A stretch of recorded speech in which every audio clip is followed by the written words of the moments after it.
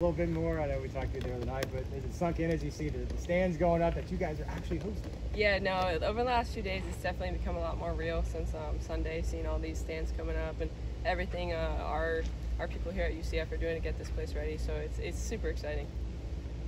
Talk about obviously this regional. It's a stacked regional. You're familiar with Michigan. You're familiar with Villanova. You played them. Just talk about this regional and the opponent together.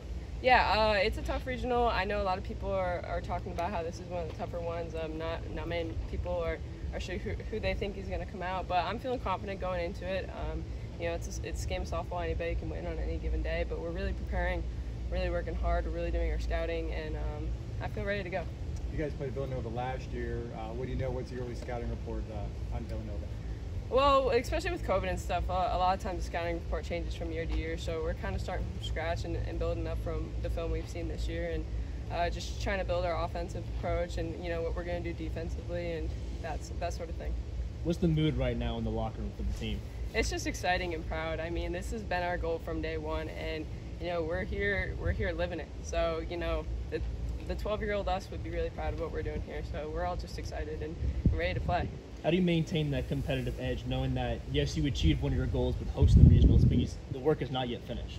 Uh, yeah, I mean it's one of our goals. We have we have more. We want to go to the supers and we want to go to the World Series. I mean we want it all. Um, you know, I, there's no ceiling on this team. There never has been, and there's no ceiling on this program. And like I said, this game is softball. Anybody can win on any given day. So you know, we're not counting ourselves out of anything.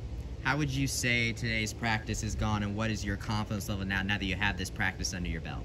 Yeah, I mean, with with every day, I get more and more confidence. You know, confidence comes with preparation, and you know, we spent today really focusing on our preparation for Villanova and you know their pitchers, and it, with when you do that, uh, you just get more confident. You know, I, I feel good going in today, playing on our dirt, um, getting some more reps, and really understanding the environment and seeing all these stands and stuff like that. I think it's a real advantage to be at home, and you know, we're starting to see more and more what's that what that like, and we're going to take advantage of it. What do you think it's going to be like? The atmosphere playing is going to be the biggest crowd ever. You see the stands going up to be 90% UCF fans. It's already sold out. Yeah. What's that going to be like? I can't wait. I mean, Knight Nation is the best fans in the world. There's no doubt about that. So I can't wait to hear everyone chanting black and gold and seeing all, all the fans up there cheering for us. I mean, I am. I just can't wait. Talking about last year, you were in the Tallahassee regional, very similar, stacked region. All four games, teams were good. How does that experience help you this time around? Uh, I think it's going to be a, like a tremendous help. Uh, last year, going into my first regional, you know, you go in a little wide-eyed, and now that I have that experience under my belt with like the media and the atmosphere and all those extra distractions that are going on, uh, now I know what to expect. And you know, the leaders of this group have really taken the time to try and explain those things to the newcomers and people that haven't been a part of a regional before, so we can kind of get ahead of those things. And I think we're way more prepared this year um, with some vets that have a lot more experience under their belt in a regional setting. I think it's it's going to put us in a, an advantage for sure. You said, you said before the year that was the goal. To once they took away the American Conference tournament hosting, that you want that they're not going to take away the region. What was it about this group that you felt that strongly that time that you could accomplish that?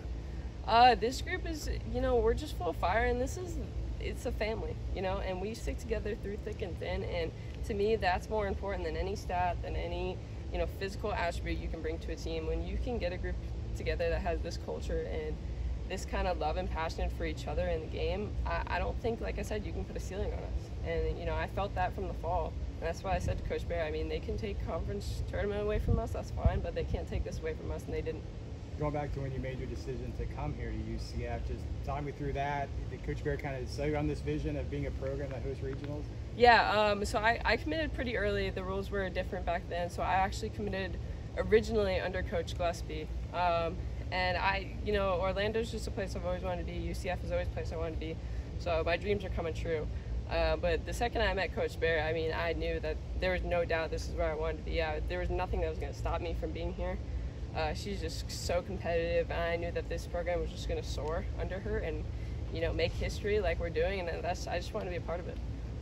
How does it feel for you to be a part of that history? You're only a sophomore. Granted, COVID kind of messes up with messes with the eligibility a little bit, but your credit you're listed as a sophomore. What does it mean to you to be, be just a sophomore and end up being a part of history like this?